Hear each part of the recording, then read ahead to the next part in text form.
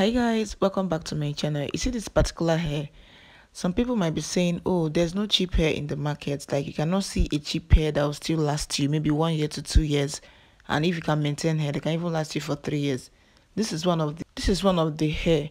And one thing about this hair is that this hair comes to 20 inches and it's a pixie coil blend hair forget people that will sell what i ordered versus what i got. There's still these vendors. They still have this vendor that will give you even when they you see the display of the hair on the screen or video you might be saying oh are you sure this hair is a so amount? Are you sure this hair is 20k are you sure this hair is 25k or 18 or 15 hair vendor you want to start selling packet hairs like packet hairs or you want to start selling wigs you can still add this to your collection. If you want to still sell them or buy them for use you're still okay.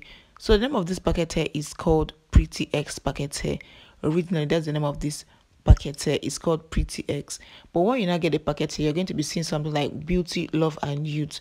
But the brand of this packet hair is called pretty x packet hair. You can really see their logo when you get it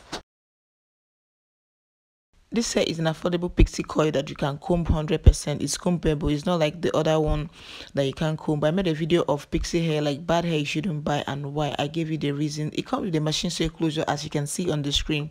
And machine sew closures are not bad okay? One pack can make a full hair. For maintenance of this hair you just need a very good living condition. Mix them, them with water with a big cone and you're good to go. You can wig them. I advise you wig them. One pack can make a full hair. You don't need two packs for this hair so if you're a hair vendor or you want to buy for use this pretty x hair is a good hair okay? It can last you for one year to two years depending on how you use it and it's a hundred percent blend hair. Is not a human hair it's a blend hair. And this hair is very soft okay?